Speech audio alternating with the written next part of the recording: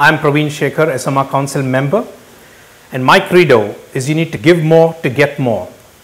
I'm willing to give more, to give my blood, toil, tears, and sweat for the foundation, and this is a call for request to all you members out there, all researchers, to join me in this quest to raise awareness and raise funds for the ESOMAR Foundation.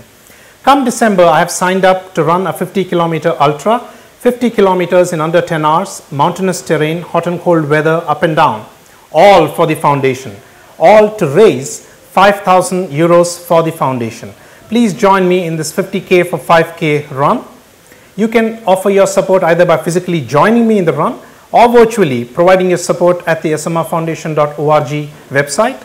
Loosen up your purse strings a little bit and make sure that your donation towards the foundation, we will make sure it goes towards a great cause. I look forward to your support. Every little helps. Thank you.